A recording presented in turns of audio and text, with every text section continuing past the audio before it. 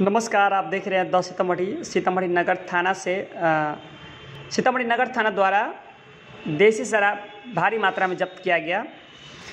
करीब इसकी संख्या हज़ार लीटर है। बहुत सारे बोतल है। ये जो बोतल आप देख रहे हैं, ये देसी शराब है। इसका दूसरा नाम सौफी शराब भी है। बिहार में इन दिनों शराबबंदी है। जैसा कि शराबबंदी कानून लागू है, माननीय मुख्यमंत्री जी इस पर दावा भी करते हैं। वैसी स्थिति में शहर में भारी मात्रा में शराब पकड़ा जाना, ये मुख्यमंत्री जी के दावे को फेल करता। है ये पहली घटना नहीं है, इससे पहले भी बहुत सारी घटनाएँ होती रहती है, जैसा कि आप लोग देखते रहते हैं। बड़ियारपुर का ये घटना है, बड़ियारपुर में इससे पूर्व में भी कई हज़ार लीटर देसी शराब टाउन थाना द्वारा जब्त किया गया था।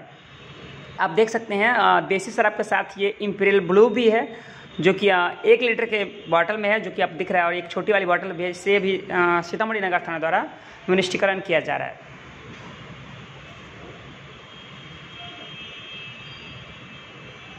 आप हमसे जुड़ने के लिए आप हमारे चैनल को लाइक कर सकते हैं, सब्सक्राइब कर सकते हैं और इसी प्रकार का वीडियो अगर आप देखना चाहते हैं तो अभी हमारे चैनल को लाइक कीजिए, फॉलो कीजिए, बेल आइकन ज़रूर दबाएँ।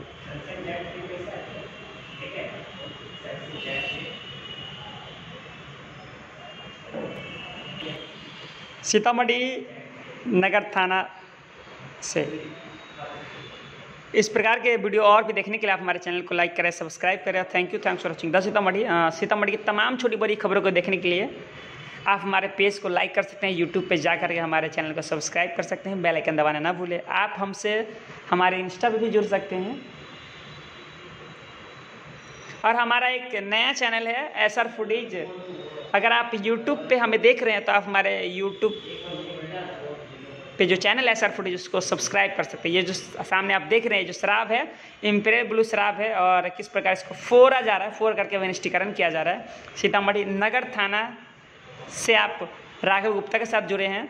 द सीतामढ़ी आप देख रहे हैं। एक्सक्लूसिव वीडियो द सीतामढ़ी से।